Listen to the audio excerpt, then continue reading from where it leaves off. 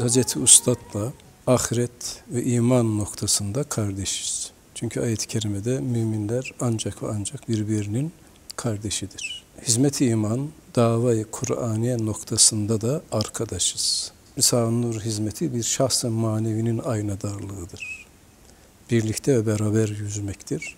Her bir nur talebesi ihlası, saffeti, samimiyeti, gayretiyle o şahs-ı manevi içerisinde bir pay alıyor. O paydarlık noktasından da hizmeti hamletmek ve hazmetmek, son nefese kadar götürme noktasından da hizmetin hademeleri olarak da biz Hazreti Ustad'ın şeyiz, Arkadaşlarız. arkadaşıyız. Peygamberimizin de şöyle bir hadisi var. Efendimiz bir gün kardeşlerim, kardeşlerim diye hitap etti.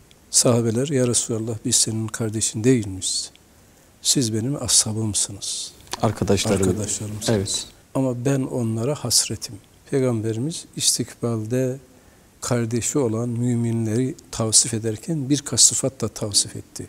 Onlar nur yiyecekler, nur içecekler, nur konuşacaklar. Onların muhabbeti göğüslerinde olacak. Onlar bir araya geldikleri zaman maddi miras manasında bir varlıkları olmayacak.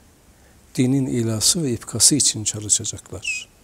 İşte bu hadise masariyet noktasından demek hakiki ve hakikattar bir şakirt de bu noktayı nazardan peygamberimizin inşallah kardeşi oluyor. Kardeşi Cenab-ı. Hak hepimizi Ashab-ı kiram, amin. manasına makes ve Amin amin inşallah.